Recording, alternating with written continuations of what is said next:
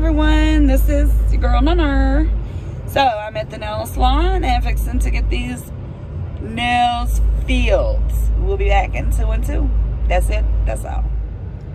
All right, so we are back from getting the nails done and this is what I chose. I always make my own designs. Come on, camera, focus. And there's the thumb.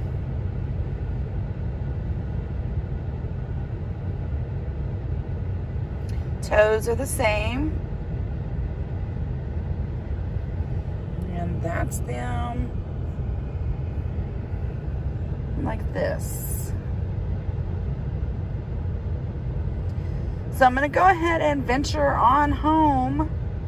My hunty is cooking on the grill. So with that being said, Nana will catch you guys shortly. Appreciate you watching, coming with me on my spa day. So this will be it. That's it. That's all.